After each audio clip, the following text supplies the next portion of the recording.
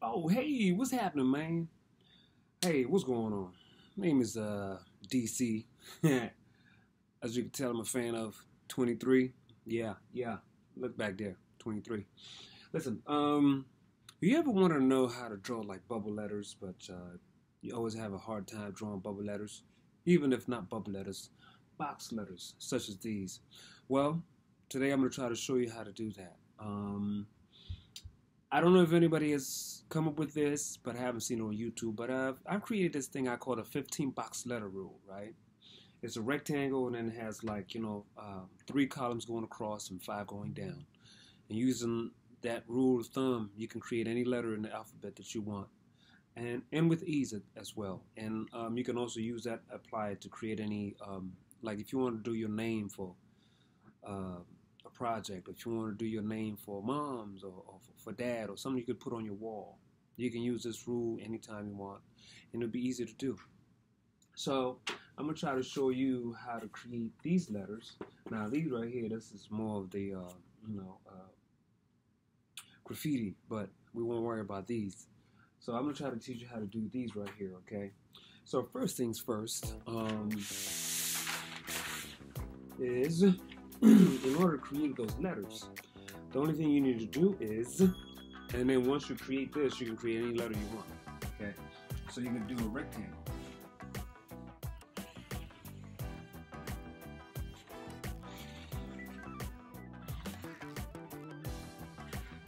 And then once you create this rectangle, you want to break it down into three columns.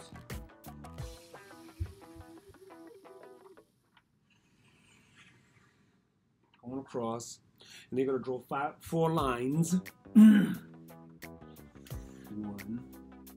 two, three, and four. So, yeah, don't mind the second line. But with these four columns, right, with this 15 box letter rule right here, you can create any letter in the alphabet that you want. So, um, I'm to start off with, you know, one letter and uh, go from there, right? I'm gonna show you how, show you how I did the C, and then we're gonna go through all the letters in the alphabets. So, I've created, so I've started with this. I don't know if you should be able to see this, but, um, so we're gonna start with the letter A, right? So what happens in this box right here is, if you look at this little corner on this if you look at this little corner here, what you're to do is you're to connect. You're to connect here this end right here in this bottom. And then this square over here, you're going to connect this end to that end right there. Okay, and uh, once you connect those two, that's the most important part as far as your letter A. And all we have to do here is connect the top and then bring this line all the way straight down to the bottom.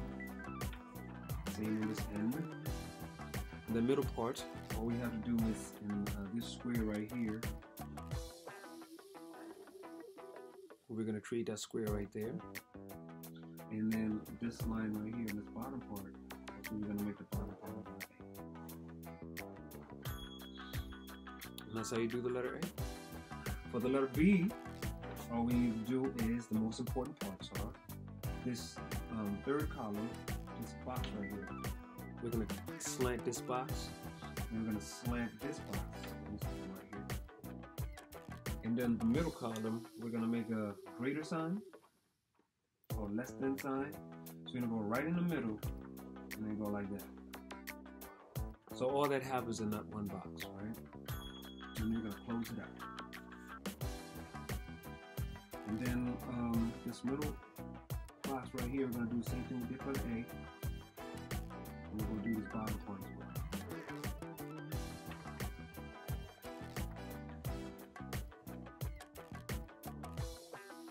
And you got your letter B.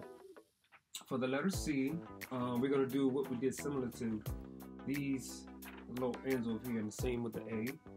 All we need for the most part is this bottom, this uh, top row and the bottom row. Okay. We're gonna slant this first one and that right there, connect the middle. You're gonna also slant this bottom row and then slant the bottom row.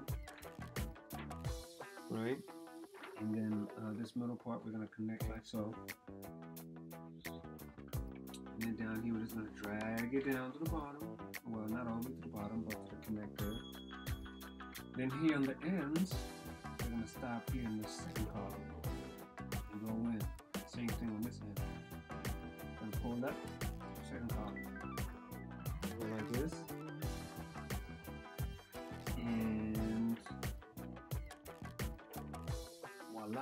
letter C, right? And on to the letter D. So the letter D is going to be similar to um, the letter C is going to be similar to the letter. I mean, the letter D is going to be similar to the letter B or the letter C. The only difference is you're not you're going to be missing these middle parts. Okay. So the most important part with the letter D is we slant this end right here. We slant this end right here. Connect here. Go straight back. And take it all the way down. And then this middle part, all we need to do literally is just go straight down on the, uh, the middle part. Okay. That's what we do. And then for the letter E,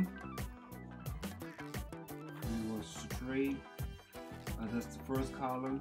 Go in, come down. The third row, go out, come down, come back in, um, and then go back. Now the other thing too with the with the E, this middle part, you can either go away to the end, or you can stop it here in this middle one, and then continue on.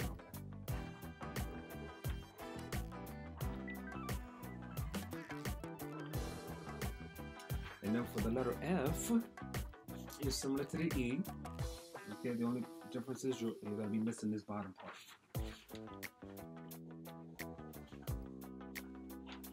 The letter F, we're gonna go all down. So here we're gonna be a little different. Instead of going all the way to the end, we're just gonna stop it in this middle one. The third row.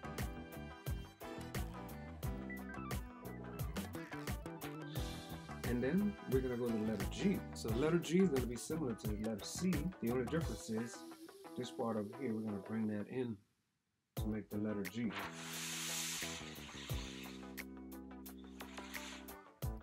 So letter G, we're gonna slant, slant,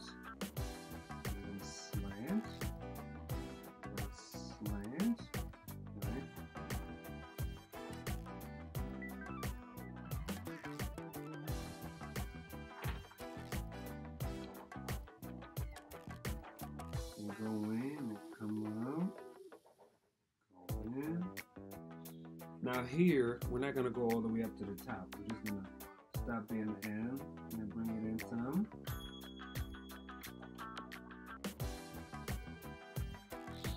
And you got your letter G. Right? And then for the letter H. Now I know the measurements here are a little off, but you know, uh, if you want to, you can bring it even higher up here. You can bring even higher to so that you know it's even and equally balanced. Okay. Now for the letter H, we're gonna be doing the same thing we did similar to the letter A, but the only difference is we're not gonna connect the top, we're not gonna connect the bottom. So what we have to do here is make a U and and another one.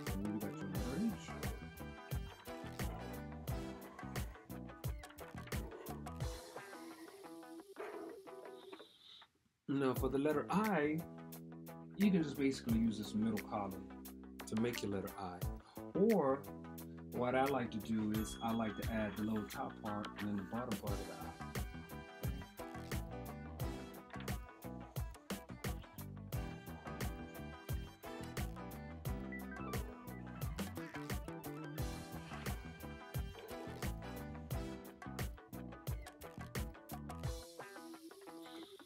Now you got the letter I. So now we're going to go to the letter J. So the letter J, you just need the first column and the bottom part and this back column. Uh, the most important part as far as the J is you just slant this bottom row, that corner, and slant this corner right here. We're going to go up one. And here you just so.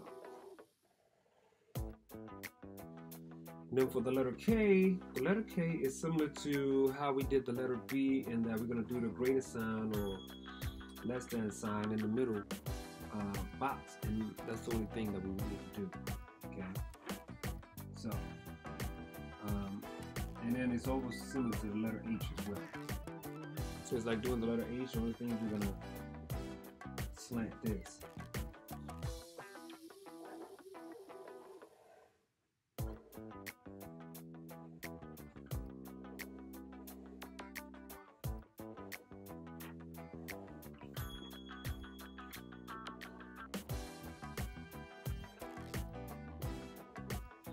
You got your letter K. Um, and now on to the letter L.